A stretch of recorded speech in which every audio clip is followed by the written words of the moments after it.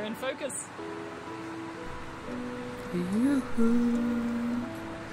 Yeah, this is a recent project of mine that I've been stuck on for maybe a week or two.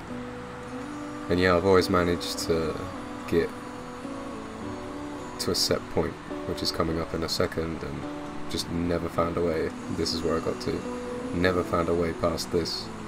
Oh, you get to hear my uh, war scream in a second. But yeah, I thought I'd just, as usual, give it more tries, and on this attempt, I found the beta, and and knew, as I think I mentioned, that I could do it.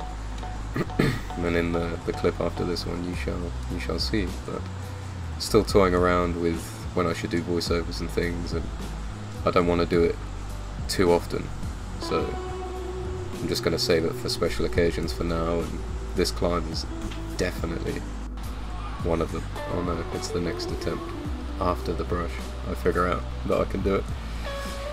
And yeah, I have no idea what else to say, really, other than enjoy. I might talk about what was going through my head. Actually, yeah, let's let's talk about what was going through my head just before I make the attempt.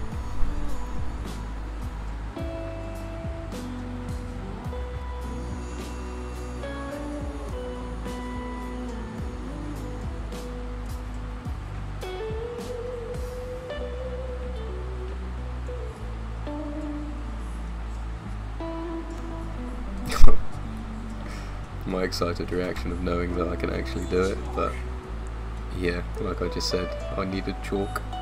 My hands are incredibly sweaty as it was very hot that day.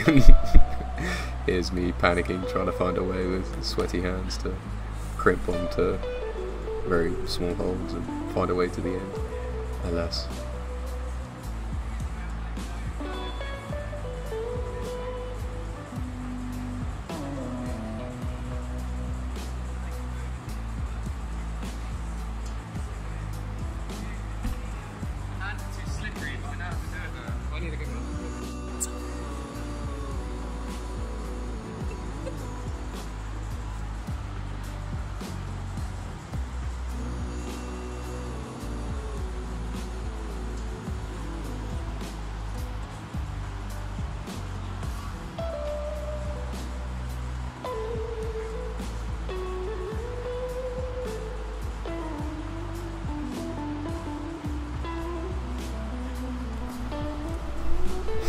So here we go.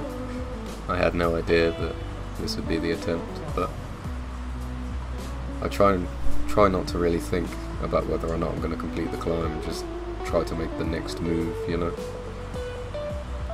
But as I managed to get to this new position with a lot of chalk caked on my trousers because I couldn't find my bag, I just tried to find a way most comfortable as every climber does, I suppose, to the end of the hold.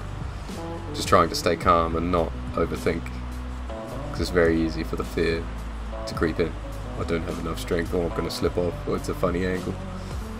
Lots of nasty thoughts pop into your head, but I suppose you just have to try and ignore them. But yeah, I started to notice like the holds underneath me and clipping sensitive parts of my body, and terrified I thought I could lunge to the end, but was scared of slipping, so I was like, damn, okay, I don't have time. I'll just try it statically. Oh, but it's gonna be hard. And alas.